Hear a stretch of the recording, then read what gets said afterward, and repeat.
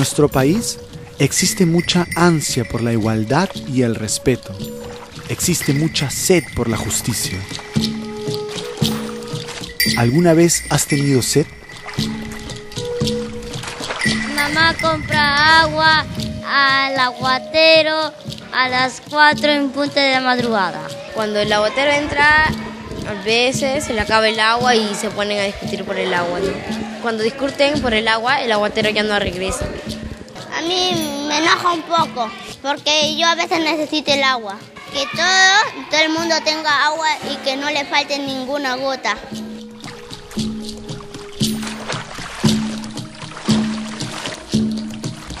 En el Perú tenemos muchas lluvias, ríos y lagos, pero como no hay políticas inteligentes para su buen manejo, el agua se chorrea.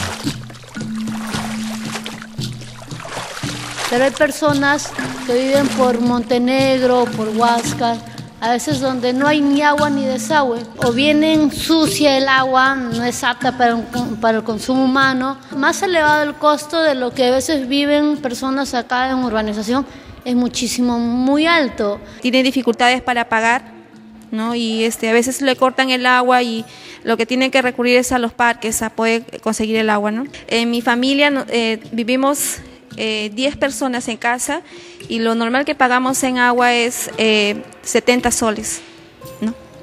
Así es.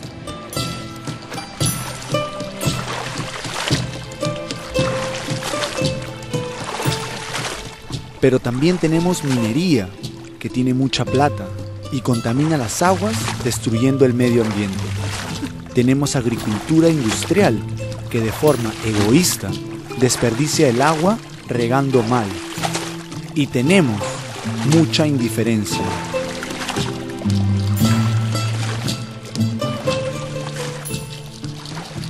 A mí también a veces me falta. A mí esa situación me pone incómoda porque Mm, no, a mi, a, mi, a mi sobrinito que está enfermo le han dicho que tiene que tomar sus medicamentos, pero mi, mamá no tiene plata para que compre agua y se gaste y se, y se va a prestar de otra, otra agua, otras señoras. A mí me gustaría que todas las personas tengan agua, que, que no le falten ningún día.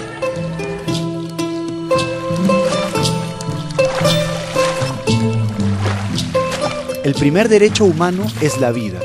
Se dice y se repite que el agua es vida. Entonces, el agua tiene que ser el principal derecho para la humanidad.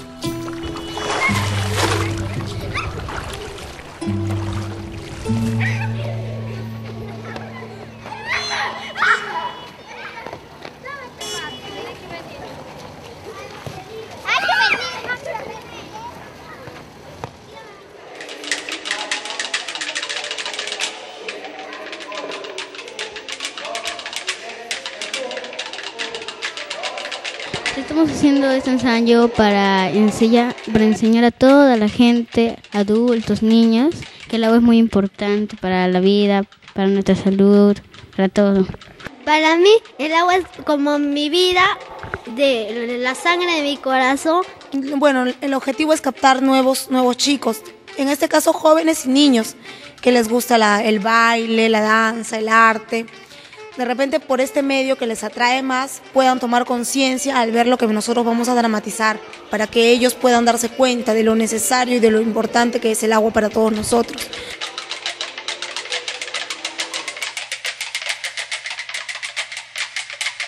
Casi toda la gente no tiene agua y por eso nosotros hemos creado un, un, tema del teatro para que todos los niños vayan a sus casas y explicarles a su mamá cómo nosotros estamos trabajando en aquel teatro, para que todos para que todas sus mamás puedan cuidar el agua para que ya no lo desperdicie. Porque es más importante difundir nuestras ideas a través del teatro, porque es una manera de comunicarse con la gente. Es más, llega más allá que los periódicos o la televisión. El arte es una forma de expresión y con el teatro podemos expresar lo que sentimos. Por ejemplo, la falta de agua, que acá no tenemos agua. El arte no puede estar en calma ante la injusticia.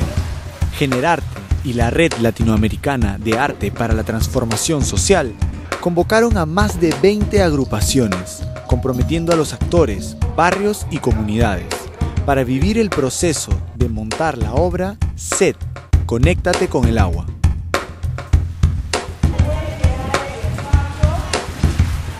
Esto no es un evento, digamos, tiene un evento y el evento es parte de un proceso de encuentro de, gente que está trabajando para sí misma y para su comunidad. Y nosotros los artistas no podemos quedarnos al margen de temas fundamentales y de procesos de transformación social, porque tenemos un arma muy, muy poderosa que es el arte. El arte tiene esa cuestión maravillosa que llega más allá de la razón, llega a tus entrañas, a tus vísceras, a tus emociones.